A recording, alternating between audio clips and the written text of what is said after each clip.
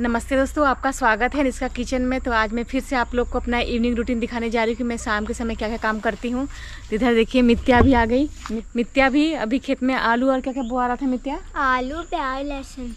आलू प्याज लहसुन बुआ रहा ठंडी वाला जो खाने में बड़ा मज़ा आता है। आलू जब मिट्टी से खनते हैं ताज़े और ये आलू कब तैयार हो जाएगा?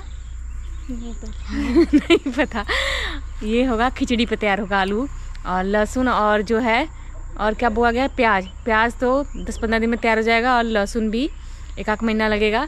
और चलते हैं, आपको दिखाते हैं कि भी मुझे गेहूँ बना के देना है और चावल देना है पिसाने के लिए।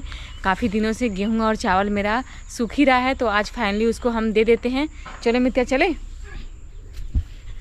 तो इधर जो चावल मैंने धुला था देखिए, सूख गया है। यहाँ पर मैं दो पोलिथीन लाई हूँ उसी में दूँगी भरकर। तो जो थोड़ा सा देखती हूँ। कंकड़ तो नहीं है आपको बिन लेती हूँ। मैं बिनूँगा। तुम्हें नहीं बनने आएगा बाबू। एकदम साफ़ मैं चावल जब अरे मैं बहुत धोई थी कई पानी से। हैप्पी इस में देखिए भर लेते हैं उठा उठा के।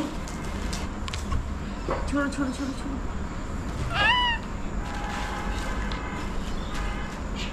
चावल जो कि मैंने बना दिया अब जा रहे हैं। गेहूँ की बारी आ गई है तो गेहूँ को साफ़ देते हैं पहले। गेहूँ को भी मैंने धुला था इसको देना है मशीन को पीसने के लिए।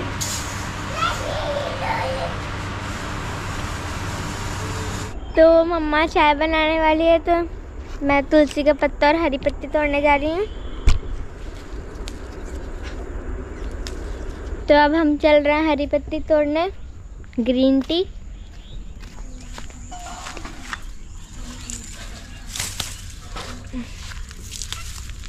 इतना बहुत है। ये देखिए, बड़ा सा एक तो पेड़ टूट गया। इधर देखिए, नाश्ता बनाने के लिए अब बहुत सारा काम हो गया तो शाम को जा रही हूँ, नाश्ता बनाने, चावल भूनूँगी। यहाँ पे देखिए प्याज काट रही हूँ, हरी मिर्च और कढ़ाई भी मैंने चूल्हे पर रख दिया है। ये हरी मिर्च हमारे खेत का है। आज शाम को हम लोग चावल में सब कुछ डाल के टमाटर, प्याज और चना और मैंने मूँगफली भी भिगो दिया था पहले ही। तभी आपको दिखाती हूँ किस तरीके से बनता है। बहुत बढ़िया लगता है खाने में। तेल सरसों का जो कि गर्म हो गया डालते हैं, जीरा।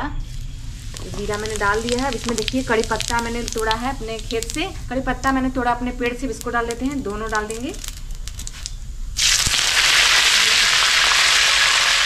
अब इसमें डाल देते हैं। प्याज और जो हरी मिर्च काटा है मैंने, वो भी डाल देते हैं इसमें।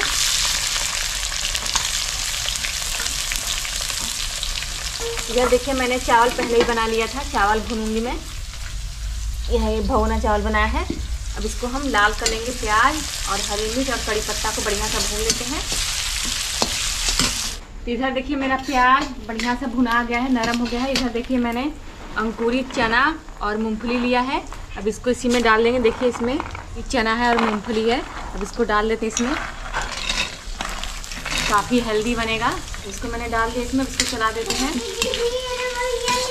इधर जो मैंने चना और मूँगफली डाला था, देखिए, भून गया है और यहाँ पे थोड़ा सा मैंने गोभी लिया इसको भी डाल देते हैं, गोभी को भी। और साथ में डाल देंगे टमाटर। पका हुआ लाल, तीन से चार मैंने काटा है। इसको डाल देते हैं। और इसमें डाल देंगे नमक। स्वाद अनुसार नमक डालेंगे। ये नाश्ता काफ़ी हेल्दी बन रहा है और ये खाने में बहुत टेस्टी लगता है। तो यहाँ पे दो चम्मच मैंने नमक डाल दिया अपने स्वाद के अनुसार। और इसमें डाल देंगे हल्दी पाउडर। आधा चम्मच इसमें डाल दे रहे हैं हल्दी पाउडर। आधा चम्मच भी कम डालेंगे भुना जीरा का पाउडर। और इसको अच्छे से चलाकर बढ़िया सा टमाटर गलने तक और जो हमारा गोभी डाला है, इसको अच्छे से पका लेंगे।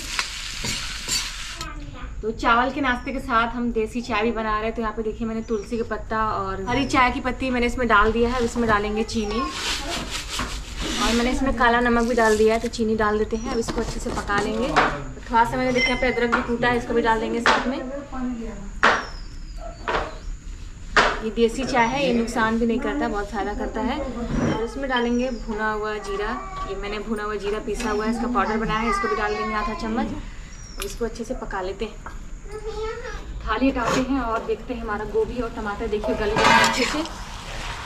इसमें डालेंगे चावल, पका हुआ चावल डाल देते हैं।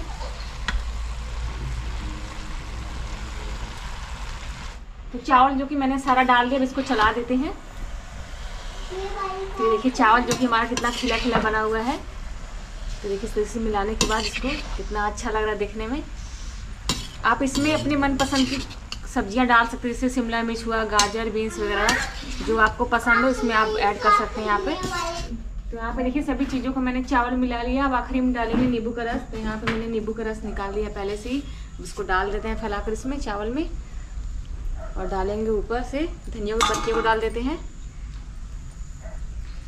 धनिया पत्ते को देखिए मैंने डाल दिया है, अब इसको चला देते हैं। और शाम का नाश्ता बनकर रेडी हो गया है। तो शाम का नाश्ता देखिए बनकर रेडी हो गया है। साथ में हमारा देखिए चाय भी पक गया है। बस इसमें नींबू डालना है। तो ये था हमारा शाम का नाश्ता। काफ़ी सारे काम करने के बाद नाश्ता बनता है। और अगर आपको हमारे वीडियो पसंद आता है तो मेरे चैनल सब्सक्राइब कर लीजिएगा, वीडियो को लाइक कर दीजिएगा और कमेंट ज़रूर करिएगा। अगले वीडियो मिलते हैं। धन्यवाद टाटा, बाय बाय।